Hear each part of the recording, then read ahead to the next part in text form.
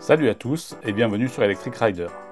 Aujourd'hui, présentation et essai de la Zero Motorcycles DSR X, le gros trail de la gamme Zero destiné aux motards possesseurs du permis A. C'est à l'occasion de la première révision de ma Zero SR 2022, le modèle roadster de la gamme, que j'ai pu, grâce à la concession Guichard Moto à Montpellier, essayer cette Zero DSR X. Ce qui frappe tout de suite sur ce modèle trail, c'est le volume de la moto, et surtout l'avant, avec cet énorme carénage et sa bulle réglable.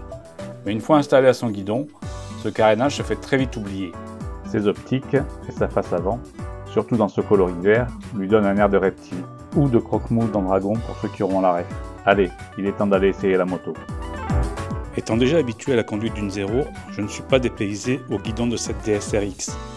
Le tableau de bord, les commodos et les sensations sont identiques. Ce qui change tout de suite par contre, c'est la position de conduite. En effet, je suis assis beaucoup plus droit, moins basculé vers l'avant et moins en appui sur les poignets. Une position de trail quoi. Sur les chemins de terre, la position debout se fait naturelle.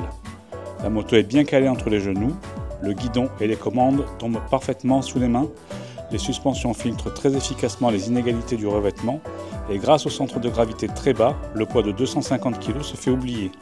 L'électronique embarquée, l'ABS et la douceur des commandes rendent la moto parfaitement exploitable en tout terrain, du moins sur les chemins roulants.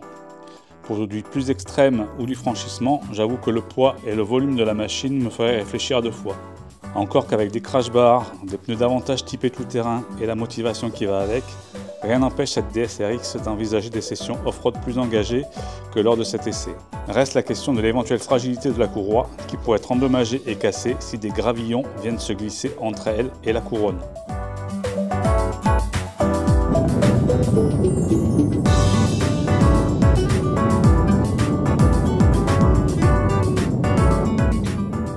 Sur la route, la hauteur de la moto, son gabarit, son guidon large et la position de conduite très droite incitent moins à l'attaque que sur le roadster.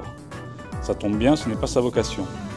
On cruise donc à un bon rythme, dans un confort très agréable et avec une vision haute de la route.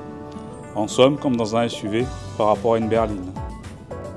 Comparativement au roadster, la puissance de la DSRX est moins importante et arrive de façon plus linéaire, plus douce. Ça tracte, mais ça n'arrache pas les bras comme sur le Roadster.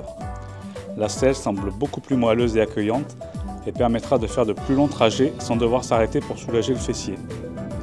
Les jambes sont également moins repliées et le poids du pilote moins en appui sur les poignets, ce qui accentue encore cette sensation de confort. La bulle, facilement réglable en hauteur, même en roulant, viendra protéger correctement le pilote, même si à haute vitesse, on sent quand même pas mal le vent. Ce qui m'a étonné lors de l'essai de cette DSRX, c'est la puissance de son frein arrière. En effet, sur mon Roadster SR, le frein arrière n'est qu'anecdotique et ne sert qu'à ralentir la moto. Là, on se retrouve avec un véritable frein arrière qui a de la puissance et du mordant. Pour terminer, comme je le disais au début de cette vidéo, la DSRX est accessible uniquement au permis A. Les bonnes nouvelles, en 2024, Zero Motorcycles propose les mêmes modèles ainsi que les modèles Roadster en version A1 et A2, version A2 qui sera débridable une fois la passerelle vers le permis A obtenu. Je vous invite d'ailleurs à aller voir mon essai de la 0S 2024, l'équivalent 125. Bref, en 2024, il y en aura pour tous les goûts.